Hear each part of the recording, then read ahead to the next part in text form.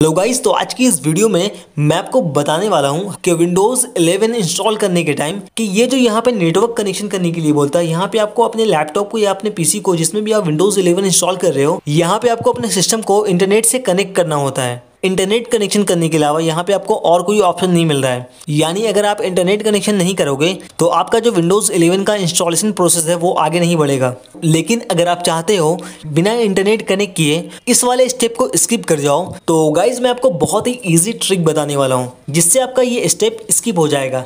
तो गाइज़ आगे बढ़ने से पहले, अगर आपने मेरे इस चैनल को सब्सक्राइब नहीं किया है तो चैनल को सब्सक्राइब करके बेल आइकन ज़रूर प्रेस कर दो, ताकि आपको इस तरह की वीडियोस हमेशा मिल पाए। तो गाइज़ इस वाले स्टेप को स्किप करने के लिए सिंपली आपको अपने कीबोर्ड पे शिफ्ट प्लस एफ़ का की प्रेस करना होगा, जिससे आपकी स्क्रीन पे ये एक बॉक्स खुल जाएगा, जहाँ पे आपको ये सारा कमांड टाइप करना होगा।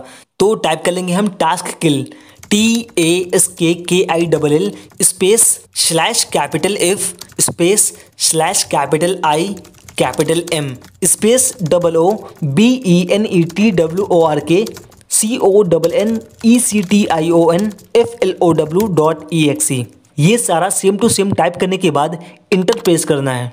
तो गाइज़ इंटर प्रेस करने के जस्ट बाद आप देखोगे कि नेटवर्क कनेक्शन वाला जो स्टेप था वो डायरेक्टली स्किप हो जाएगा। उसके बाद आप विंडोज़ 11 इंस्टॉलेशन का जो भी आगे का प्रोसेस है, वो बिना इंटरनेट कनेक्शन किए कर पाओगे। लेकिन गाइज़ मैं आपको सजेस्ट करूँगा, अगर आपके पास इंटरनेट कनेक्शन अवेलेबल है तो गाइज़ आप बिना स्किप किए इंटरनेट कनेक्ट करके ही आगे का प्रोसेस करना। थोड़ा सा इंटरनेट और टाइम ज़्यादा लगेगा।